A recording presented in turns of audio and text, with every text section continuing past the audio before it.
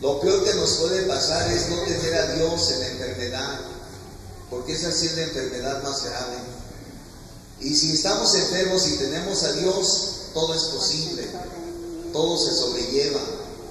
Y la enfermedad también se vive como un amigo inesperado, pero que poco a poco nos vamos haciendo amigos de la enfermedad, como lo hizo Jesús. Muchos de ustedes les tocó trabajar muy duro y ahora se ven las consecuencias de ese trabajo, el peso de la edad, una enfermedad que ni siquiera esperaban y que llegó de repente.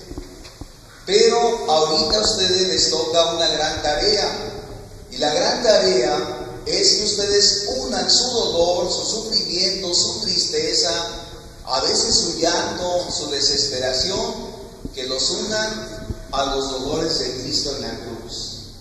Jesús también sintió tristeza, miedo. Jesús también sintió la soledad, el abandono. También le gritó al Padre, Dios mío, Dios mío, ¿por qué me has abandonado?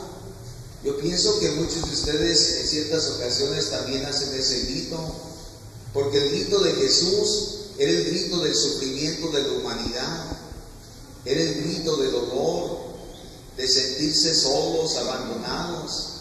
Su dolor y sufrimiento no es una desgracia, no es una tristeza, no es un mal, es parte de la vida. Ni siquiera el Padre exentó a su Jesucristo del dolor. Y Jesús tampoco quiso ser exento del dolor y del sufrimiento para enseñarnos el camino para llegar a Dios, el camino de la resurrección.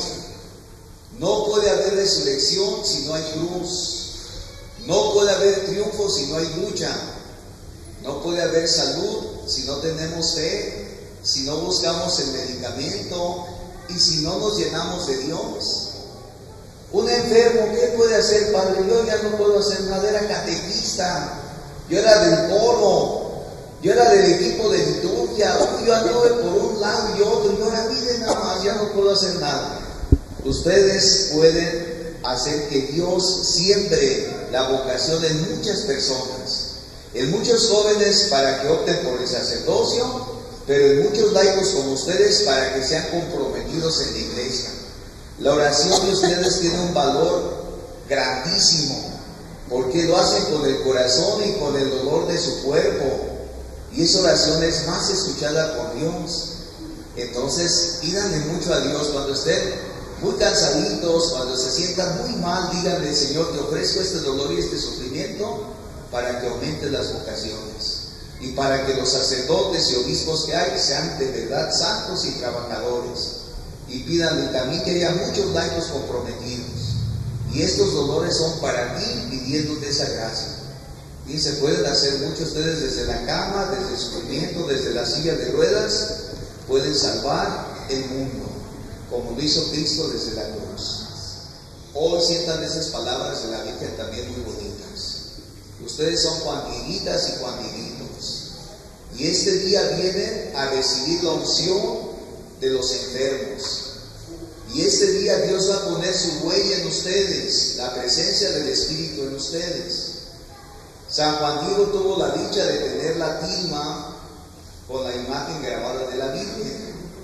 Pero ustedes van a tener la dicha de tener el sello de la presencia del Espíritu Santo en ustedes, que les va a dar fuerza para soportar el dolor, el sufrimiento, la tristeza, la soledad, la ancianidad y todos los achaques de la vida. Entonces, hoy Dios, así como puso esa imagen en la tilma de Juan Diego, va a poner su imagen en el corazón de ustedes. Y teniendo a Dios, no nos hace falta nada.